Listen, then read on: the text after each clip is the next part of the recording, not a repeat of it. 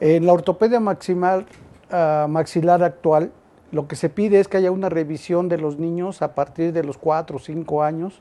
cuando ya los dientes empiezan a, erupcionar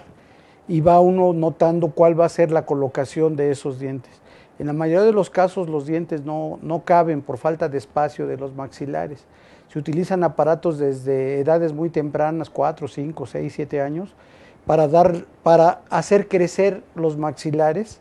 y puedan irse alineando los dientes, es decir, colocándose los dientes en buena posición, para evitar que cuando lleguen a grandes, a 16, 17 años, tener que poner brackets. Cuando eh, un niño ya a los 15 o 16 años ya no se pueden colocar este tipo de aparatos ortopédicos, sino que ya tienen que ser directamente colocados brackets, frenos, que, comúnmente los, los llaman así la gente, y, y, es importante pues una revisión, la revisión normal que un dentista general eh, lo puede detectar debidamente y remitirlo a un dentista que tenga especialidad en ortodoncia.